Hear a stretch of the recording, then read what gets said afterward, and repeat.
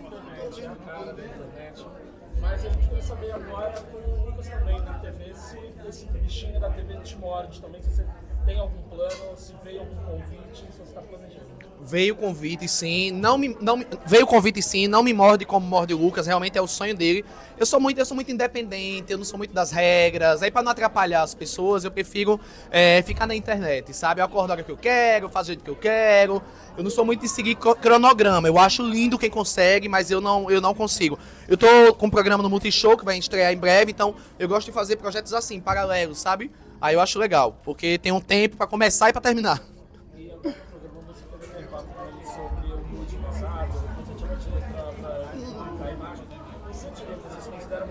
Exibicionista? Eu sou, exibi eu, sou, eu, eu sou exibido mesmo. Eu acho que é mais que exibi exibi- exibicionista. Eu acho que o mundo tem 8 bilhões de pessoas e há pessoas diferentes. Tem gente que é low profile e tudo bem. Tem gente que gosta de estar presente, de estar, de estar brincando, de estar. Eu não me levo tão a sério como a maioria das pessoas. Eu acho que hoje, na verdade, a doença do século é porque todo mundo se leva a sério demais. Todo mundo é importante demais. Todo mundo acha que o mundo está com inveja. E aí eu acho que no fim das contas você deixa de viver, você fica nichado dentro de um contexto é, minimalista demais e você perde de viver, de se divertir, de brincar.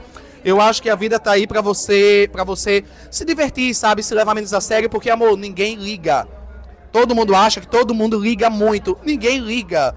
Então eu vivo do jeito que eu quero, do jeito que eu gosto. Quem gostar bem, quem não gostar, não dá pra agradar todo mundo, né? Sincero, beijo.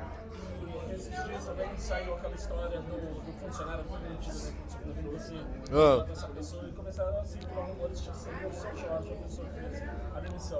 Você chegou a ver alguma Não, eu, vi, eu não vi nada. Vocês viram, foi? Eu não vi nada disso. Não, deixa isso pra lá, isso é muito bobo.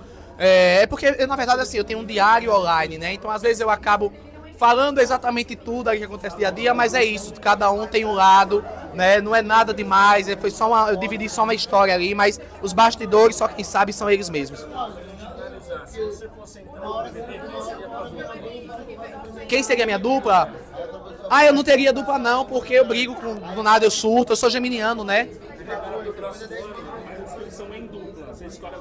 Ah, tá.